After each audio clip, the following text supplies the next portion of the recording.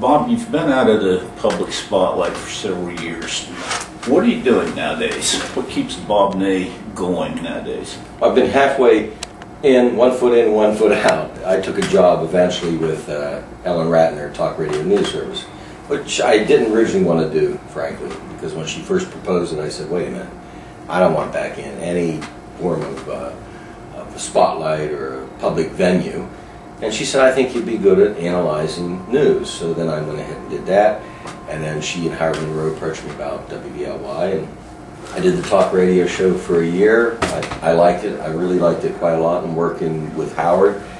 But the thought of continuing, and I'm locked to five days a week, uh, those hours, just, you know, wasn't the most enthusiastic uh, venture for me.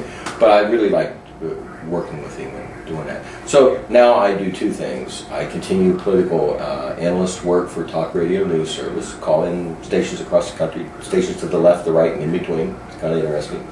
And uh, the second thing I do is uh, I'm the executive director of a brand new foundation, which is actually incorporating it now, called Mending Minds. It utilizes the uh, meditation, particular Tibetan meditation, not as a religion, but as a, a I think, a proven scientific fact that meditation can help people with PTSD, our veterans who are returning with terrible stress, uh, PTSD, stress, and substance abuse using meditation, kind of in lieu of medication. Mm-hmm. And so we're just creating that right now, and it's brand new. It's going to be up and running pretty soon. And Ellen Ratner, it was her idea, who is my boss at Talk Radio News. Okay. And I babysit grand granddaughter. And, and I'm going to take a wild guess you'd just as soon be doing that full time. It's not a bad job. Yes, yes. It's been about five years since your political career came to an end because of the Jack Abramoff scandal. You're obviously a much different person nowadays. Uh, quite frankly, uh, for a long time when uh, you were in Congress, you were someone who looked like he probably needed a little bit of meditation to calm down a I would bit. assume. What are your thoughts about who you were then, five, ten years ago, and who you are now? Well, events happen in your life. As my grandmother always said, you know, one door closes and the other opens. It's just that the door that closes sometimes kicks you in the rear end quite hard before another one opens. So things happen within your life. I like to think, though, that some of the, I don't know, I'll call it energy or maybe some anger or attitude was helpful in Washington to take on some people. Uh, probably you go overboard, you get caught up in things you, for a wide variety of reasons. Uh, substance abuse, alcohol, whatever the issue is, working a lot of hours, not focusing on the moment, then you start to lose your way. But I would hope that there was some qualities that I had at that point in time that still uh, remain today. But obviously, you don't go through something like I did and uh, not have some change. Now, you can change in several ways. Webb Hubbell, who was uh, in prison, my best friend of Bill Clinton, he was in a Rose Law firm. Before I went to prison, or as I like to call it, the Bush Housing Program, I talked with Webb, Webb Hubbell for five hours face to face. And Webb told me something I'll never forget. He said, look, there were three of us that went in prison, three or four people he knew. He said, uh, three of us came out, you know, with some scars and bumps and bruises, and uh, but were in a condition to be able to pick up our lives. And he said, one went mentally ill forever. And I remembered what he said. So you have to, you know, be careful because just when you have these epiphanies or you have these life-altering changes, doesn't mean that's going to make you a better person. It can you can lose your way. So you have to maneuver through that and decide where you want to be. So I think part of it probably yeah, I'm a calmer person.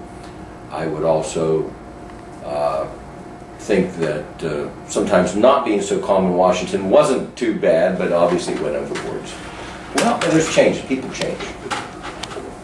Is there, and, and you were in Congress, a driven, get things done kind of guy who I'm guessing the opposition didn't like very much, probably more than some of their other opponents. Is there, in that regard, is there anyone like you in the House now?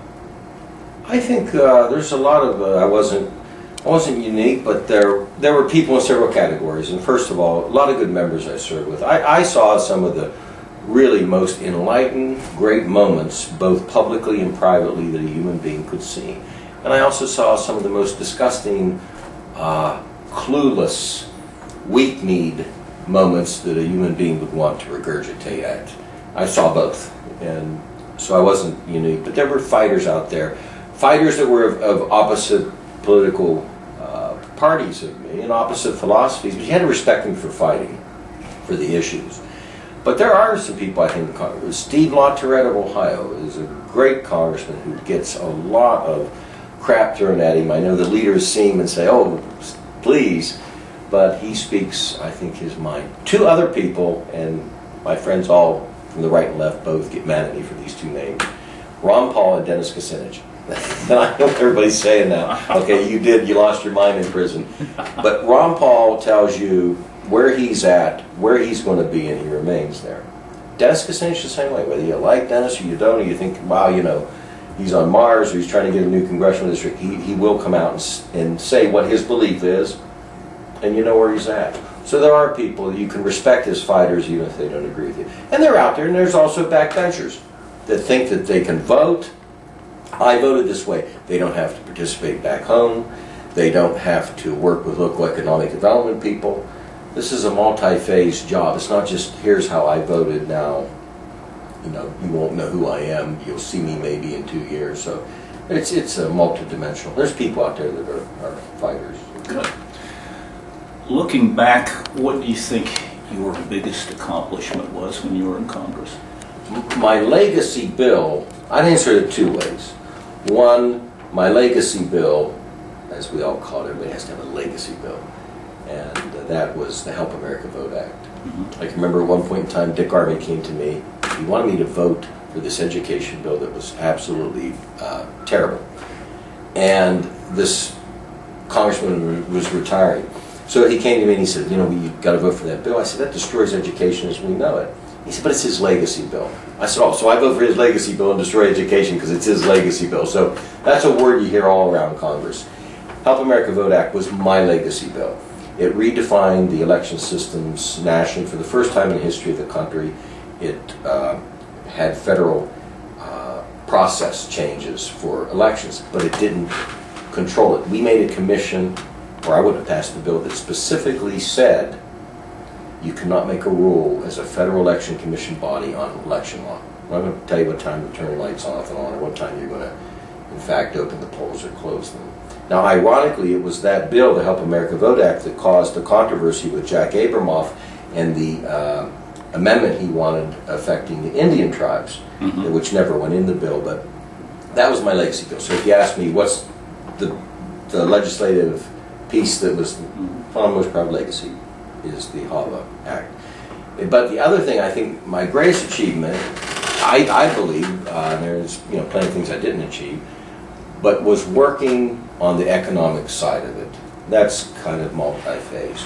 Voting to, you know, for the first balanced budget in generations back in 1998, trying to restrain some of the growth of the government, but also working with development people back here.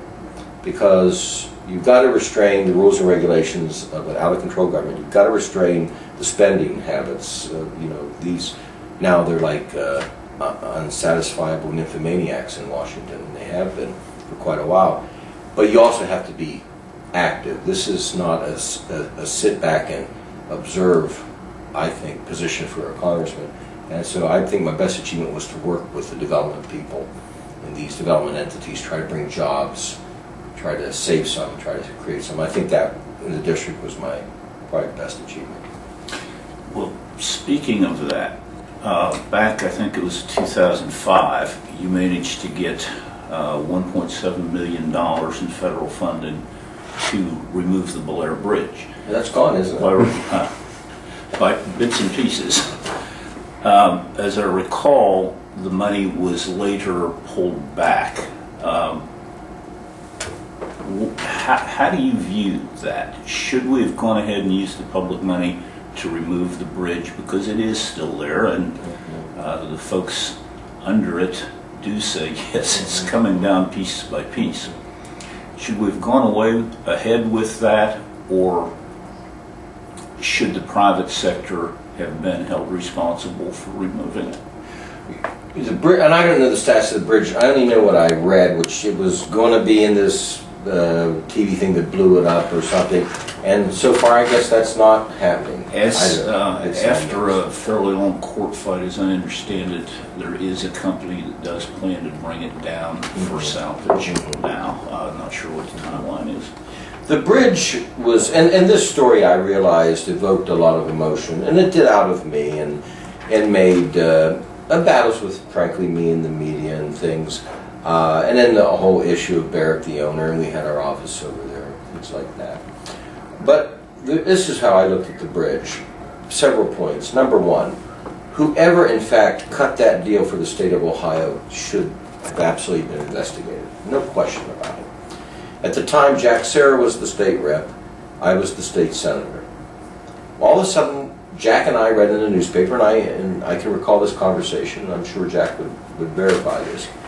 We read where there had been an emergency measure, uh, Celeste was the governor, to buy this bridge and rip it down.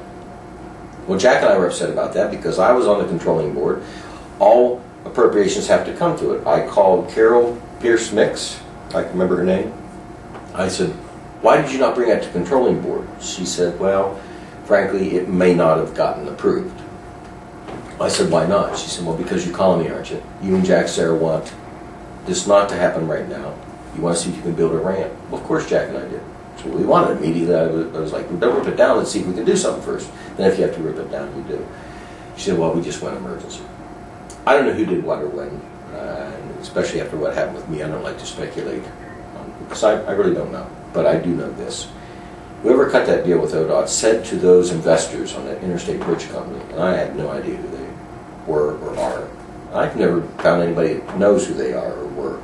There was investors, and they, they should have said, here's the money, minus this, the bridge gets ripped down as soon as you sign the paper. That never happened. They said, here's the money. So then there was some transfer of money to the uh, Corporation.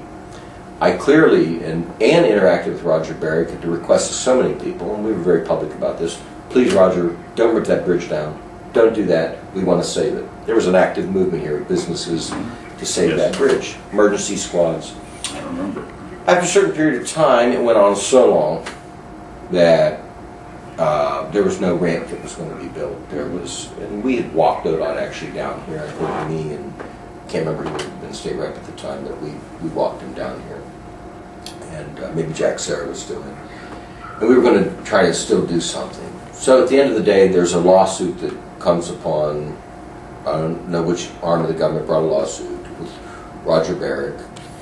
And my idea was, no matter, you know, if, if this lawsuit came about and Roger Barrick, you know, lost the lawsuit, okay, that money has to go back to the US government. Just rip the thing down finally and be done with it. But it turned into a huge controversy, so I just stopped appropriation. Do you think that uh, it should have gone ahead then, Oh, just yeah. gotten the thing done? Got it down, if, and I don't even know what happened with Barrick's lawsuit with the feds. I have no idea. But, irregardless of whether he was being sued or not, I didn't feel that was, was our deal. We rip it down. If he loses a lawsuit, the feds get that money.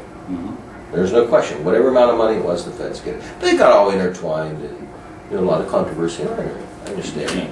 And then it hurt me out there because people finally said, what are you, just, what are you doing? And my staff drove me crazy. Why even do this? Just screw it. My staff said that.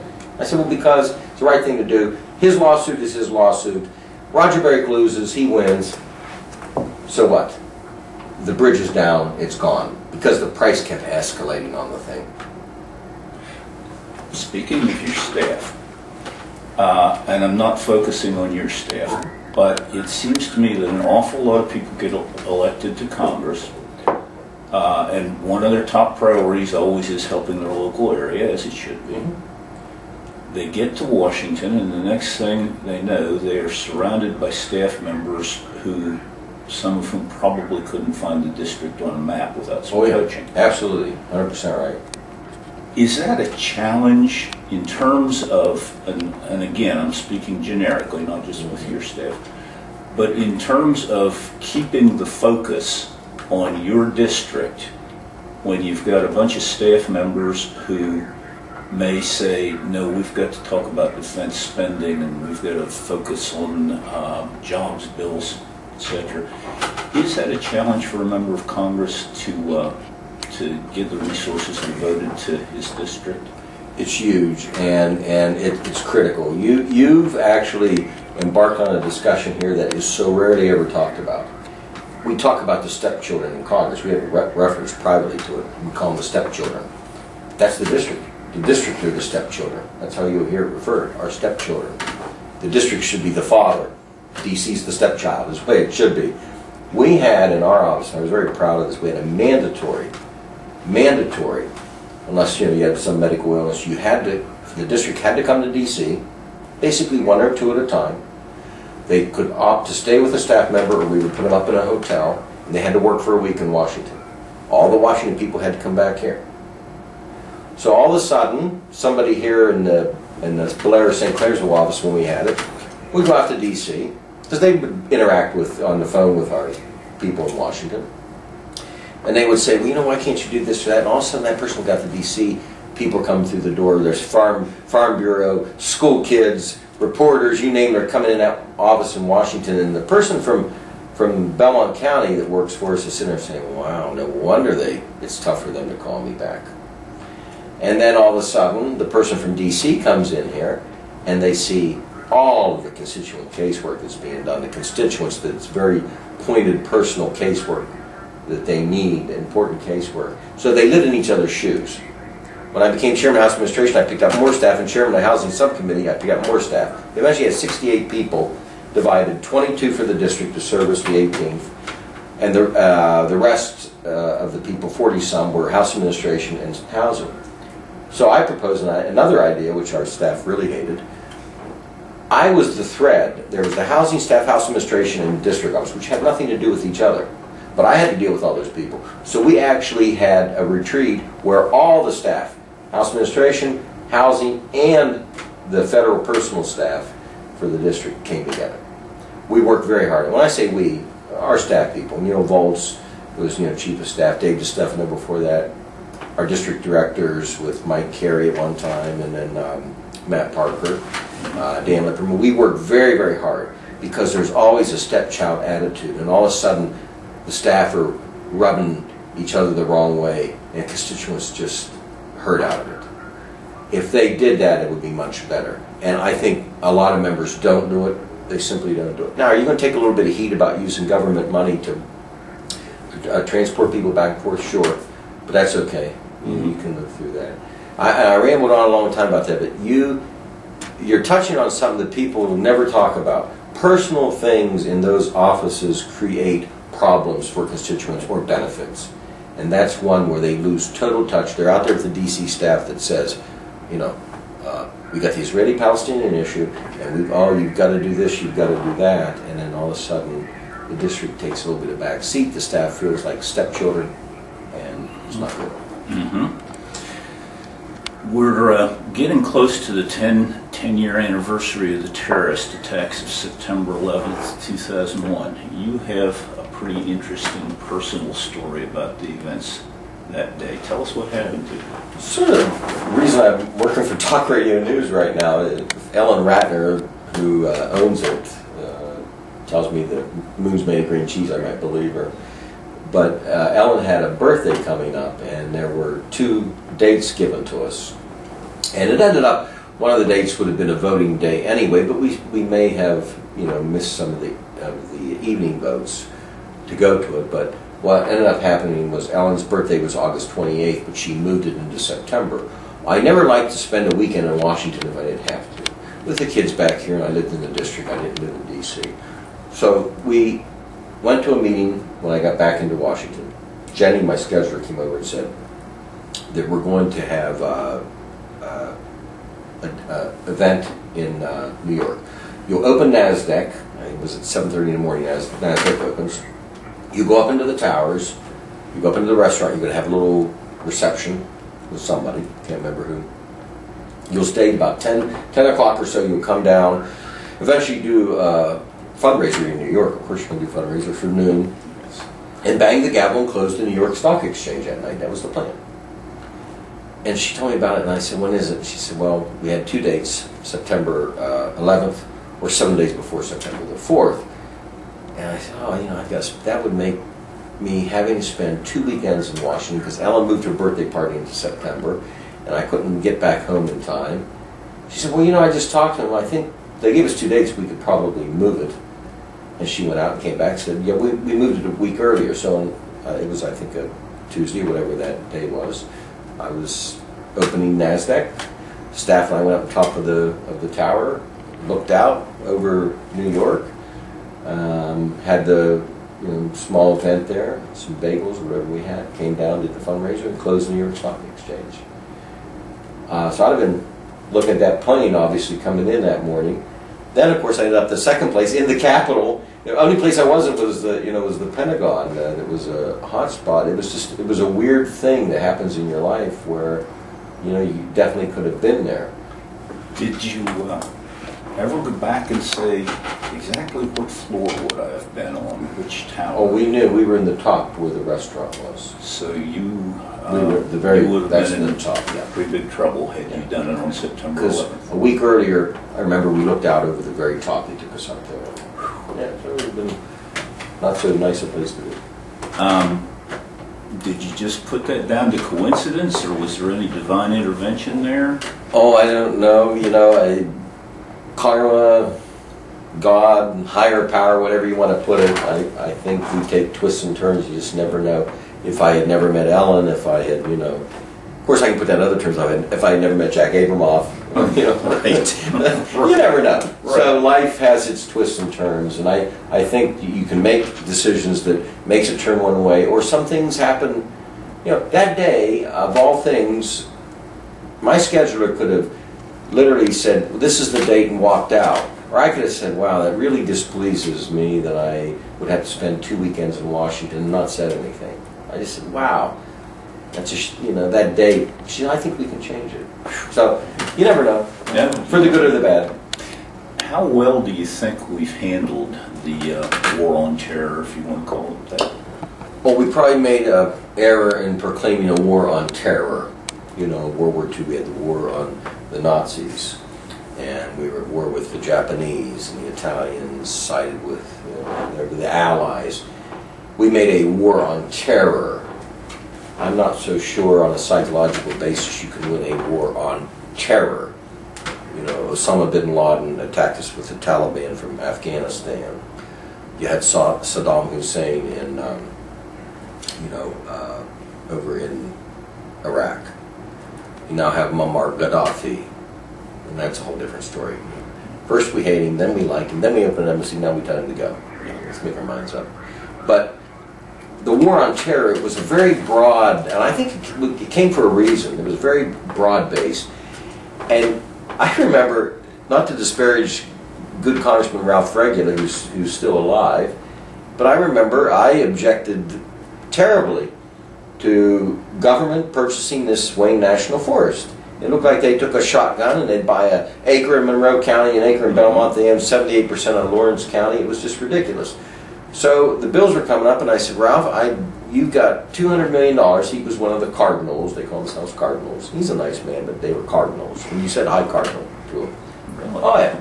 I love these open secrets now that I'm out of cover. Yeah, you call them Cardinal because the 13 Cardinals that were under the appropriations chairman, and they were like the Pope and the, and they were very powerful, believe me.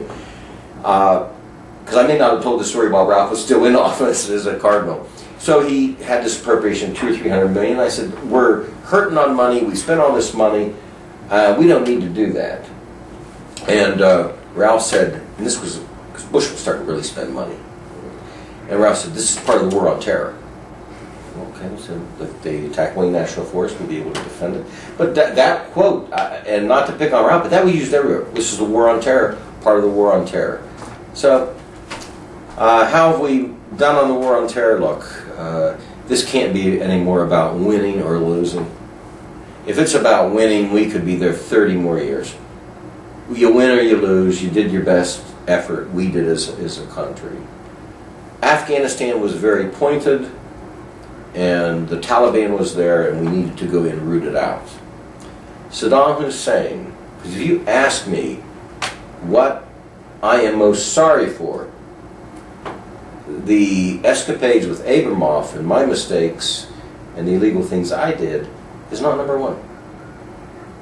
Believe it or not. Okay. It's number two. What is number one? One number one, I didn't do it intentionally. Number one is the fact that we didn't dig deep enough to see if there were lies. I lied, no one died. Bush, his people lied, and people died. There were no weapons of mass destruction. If we want to go in and get a lunatic, start with Sudan. As far as I'm concerned, the premier of China is a lunatic.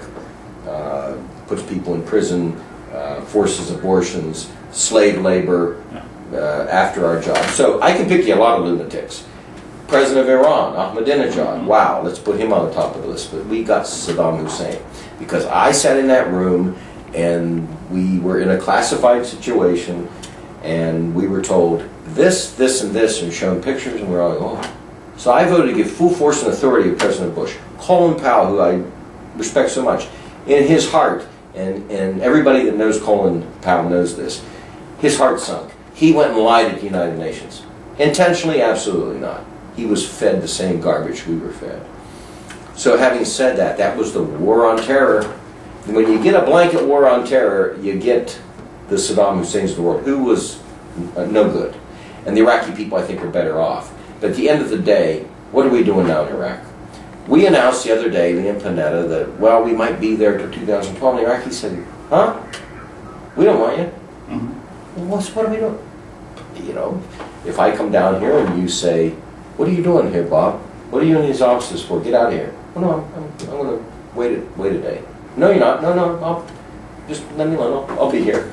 It's not how life works. And, and, and uh, so, you know, we've got to cut our losses over there. Then economically, the Iraqi infrastructure, because these wars, make no bones about it, were military and civil, in the sense of not civil internal, civil projects. And we spent money, and we, we, we spent a lot of money in both countries. All the projects are, are disintegrating in Iraq, and we're going to have to cough up about, I think, if I'm correct, $400 billion to continue these. Mhm. If we saved them, if we did so much for their democracy, let them pay for it. They have oil. Let them pay for it. I mean, I, I'm not saying that Saddam was a good guy, and I'm not saying it's a bad thing he's removed. When you do this blanket, go get a war on terror. Let's just go bomb Iran, and let's go bomb, you know, Libya, let's bomb the Sudan. So, as far as have we won the war on terror, we've done a good, decent job, I think. But uh, look, we have two situations there that have got to come to some form of an end. And it can't be about did we win or lose in our pride. You know, you just don't want a Vietnam. There was no exit plan. No. But you bring up a, a good point. Um, the decision to invade Iraq was a bipartisan, wide support. A lot of people on both sides of the political aisle looked at what they thought were the facts and said, we just don't have a choice. Now, you look back and you say, well, as, as you said, maybe we should have dug deeper. First part of my question is, do you think it would have been possible for you to dig deeper and get the information? And the second part of my question is, do we have the same situation today? Can Congress be misled massively on something like that today? Well, second question, yes. They, they can. They can be misled. It can happen. The first part of the question, I've run this again over and over in my mind, and I'm sure you would expect me to say my biggest mistake was Abramoff, but my biggest mistake, Jack was the second in what I got into with him. But my biggest mistake was, in my mind, because I feel bad about it, was not fully investigating to the best of my ability.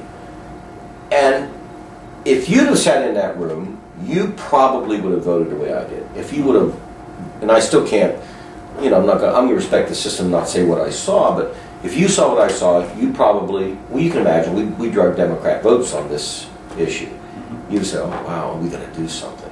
I went over to, uh, to the Mideast, and I went in- into an intelligence section we have over there, and I saw other things.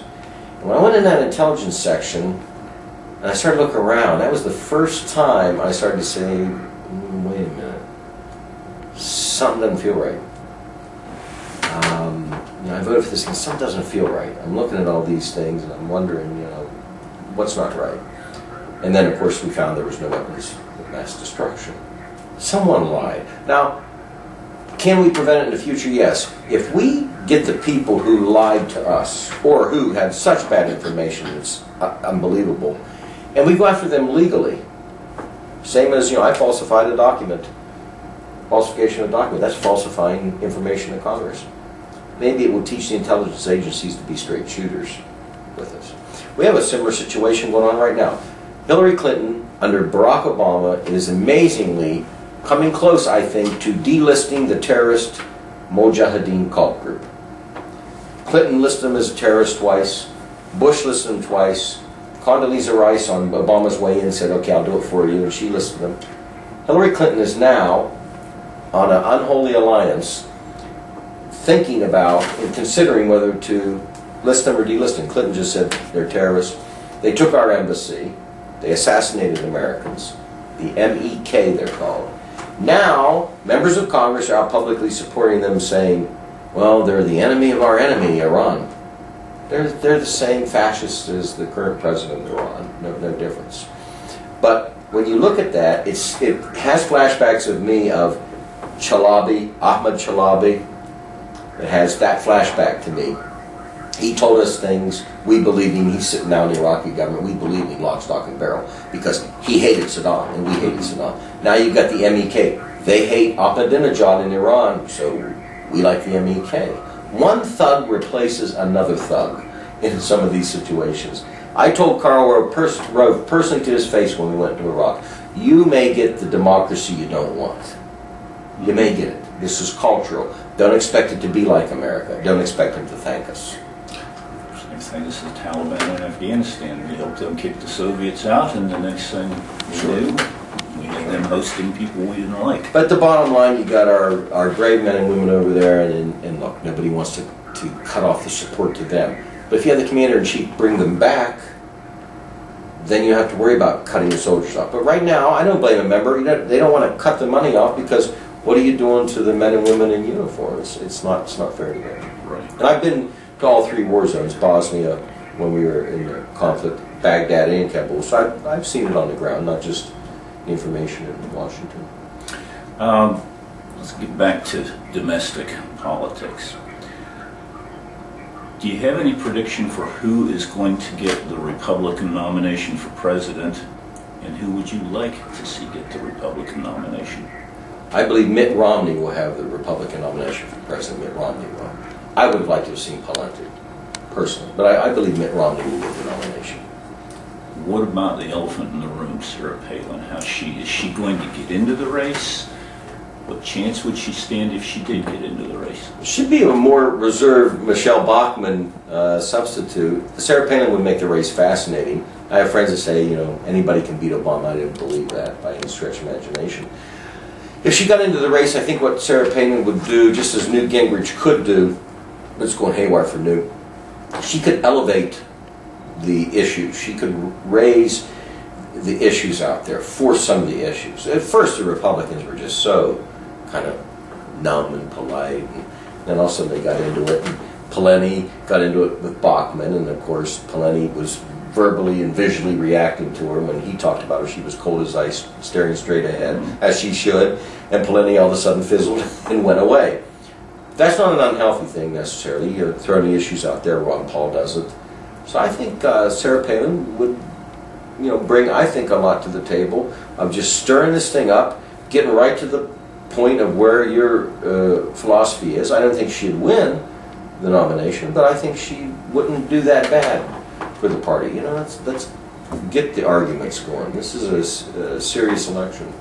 Is there a danger that um, particularly very conservative Americans dislike our current president, president enormously. Is there a danger that we're uh, going to see a false sense of confidence there that they think almost anyone could beat Barack Obama?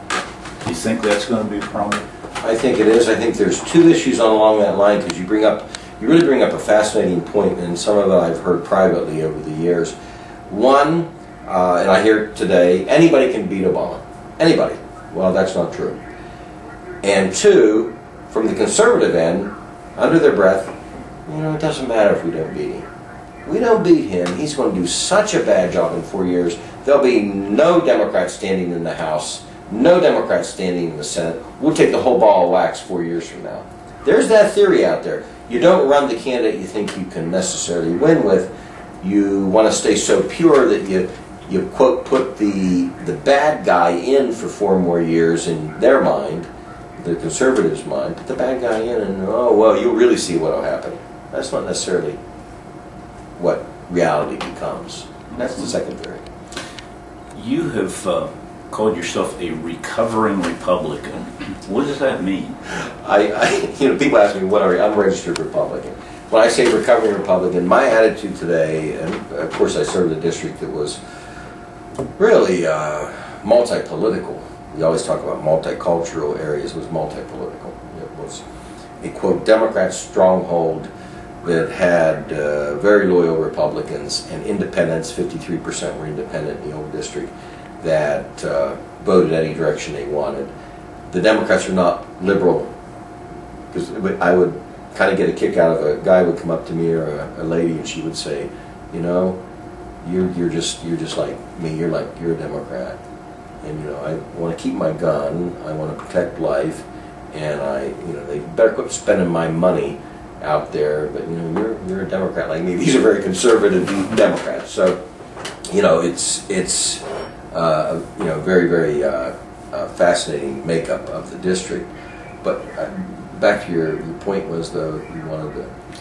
You, you're a recovering. Oh yeah, recovering Republican. Okay, I got up on the history of the district because it's it's a nostalgic thing. But you- when I say recovering, today, I've had it with certain elements within both parties. I just had it personally. So when I say recovering, I don't drink the Kool Aid. I I am a registered Republican, uh, but I don't drink the Kool Aid of the party. I just don't do that, and I hear it all the time about you know this has got to be the mantra. I just don't drink the Kool Aid. You, you don't drink the Kool-Aid. Would you describe yourself as a tea drinker? Yeah. Oh, a tea, a tea drinker. Um, I think the Tea Party has been very good for this country.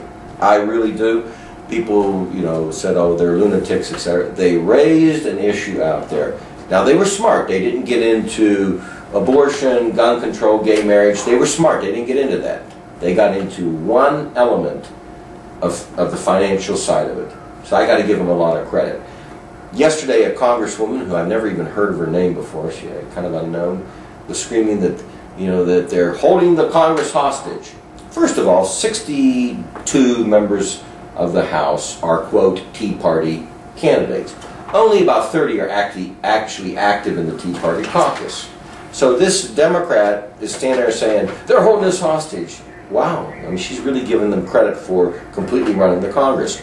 The Tea Party, you know, wouldn't run my office, but I've got to tell you, I'm very respectful of of what they've done. They they took this and they raised this to the level it needed to be raised to. Look, town halls are uncomfortable. Members aren't doing them now. Shame on them. Go face the voters. Take some heat. Believe me, I did it over the years, especially in 2006 with Jack Abramoff. I still went out publicly, and there's a lot of heat to that kind of thing. Uh, so, you know, there's just different elements. When I say recovering Republican, though, I wouldn't be wed to the Republican leadership. I wouldn't be wed to them. I never thought I ever was, but there's certain times, you know, you just kind of, eh, you speak up, but you don't speak up like maybe you want to or something. But when I say recovering Republican, Republican Party was morphing, and the Tea Party, I think, helped the Republicans get back on track. But it was morphing. And in 2008, when I got out of prison, I looked at the Republican Party, and you had, you know, John McCain. Oh, yawn, please. Um, you know, who would bomb Canada for fun, just in case they got out of control down the road. I mean, his whole mantra was George Bush stuff, you know, the war on terror, terror, terror.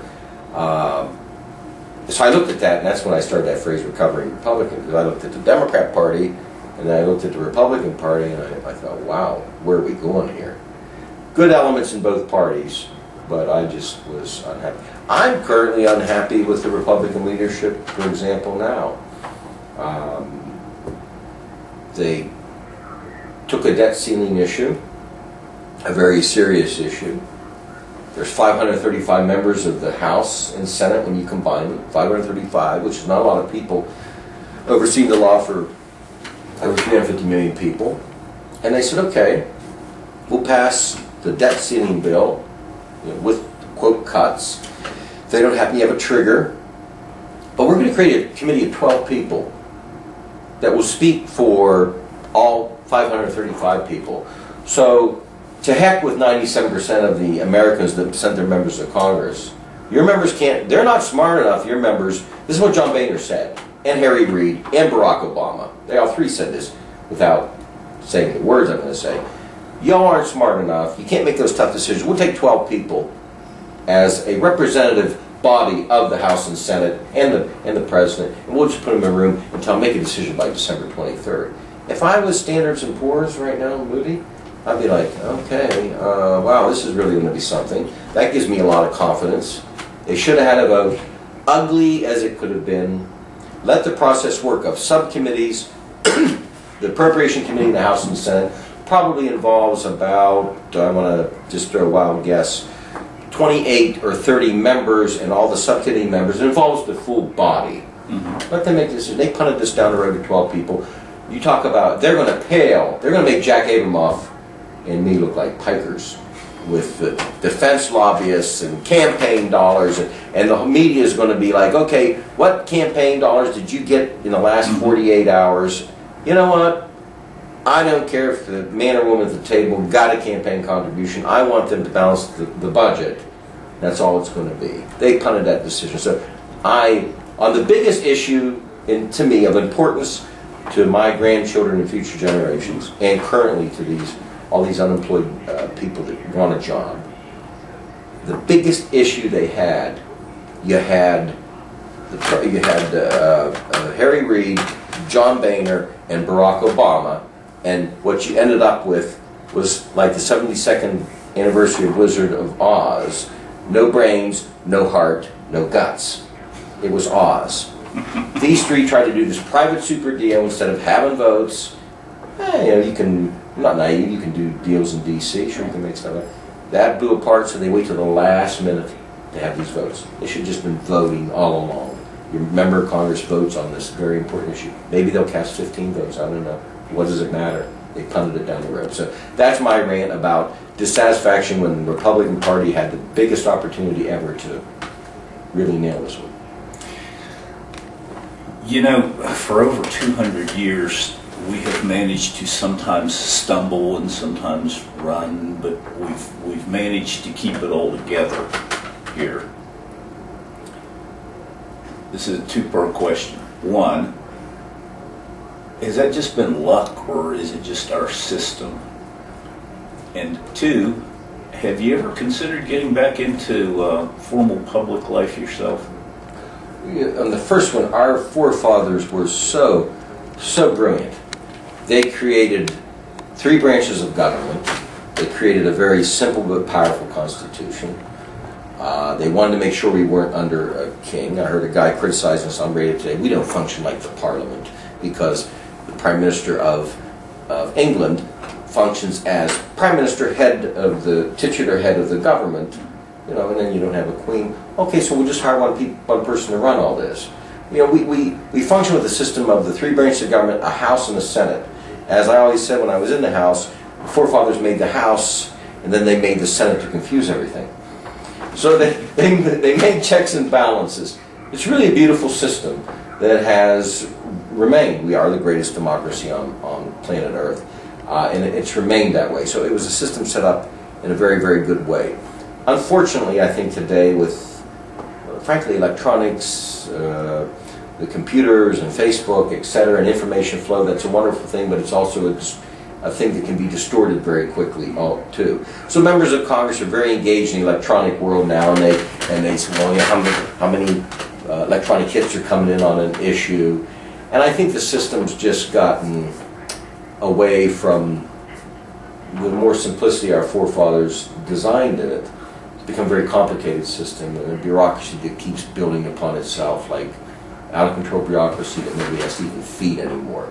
So I, I believe that we had a, a very good structure. It's a structure we can still utilize today, but it's just it's strayed a lot and it's the, the quick hits. You get attacked on Facebook. Maybe members are going to have to go back to just you know ignoring what's said on Facebook and just go out to the county fairs and the streets and Might be a good talk to people. The second thing is, um, there would be so many decisions before getting back and, I would get back in public life. I'm not, you know, gonna lie to you, I, it's not a week that passes I don't get an email or something on Facebook or, especially when people get angry, then they may forgive a little bit, you know, well, you weren't that bad. I even had one guy say, I don't really care what you did. Uh, so I've had all kinds of comments, but as far as as getting back into public life, there'd have to be several things. One, I would never run to run. I would not run to run. I never did run to run. Uh, when I ran the first time, I felt that our, our state rep just had had a good career, but just wasn't cutting it anymore. So I always ran uh, for a reason. I never ran for Congress. I refused to run quite a lot, and I looked at it and I thought, we have a great opportunity, first time in generations, to balance this budget. 'Cause that was the singular uh, statement out of Newt Gingrich's mouth that flipped me from no to yes to run. He said, "You're going to accept the challenge to balance this nation's budget, or we're, we're done." And so I, I ran for that. I wouldn't run now, wherever the districts are going to be, just to quote run, or be the first person to make history, force them to seat me, which they would try not to seat me. Uh, I, I wouldn't do it just to do it. There'd have to be other other factors out there. I would have to see the job that the current person does, and so it's not in my plan. It is not in my plans to run at this point in time. You never say never. Yeah. I've learned that. But right now, it's not. I would have to assess a lot of things in family and uh, you know all the other issues out there, keeping my my wits and bearings. I would go in a. Uh, you asked about change. I would go in a smarter person in the sense of, you know, watching what you do and following the, the straight and narrow on the issues. But there'd be a lot to it. Uh, it'd be a very fascinating election. I will tell you that. There's no question about that. I mean, I wouldn't expect people to. You know, I apologize to the district, uh, media venues, but that would be up to them of what they would uh, would decide on. Very good. All right, thank you, Okay. sir.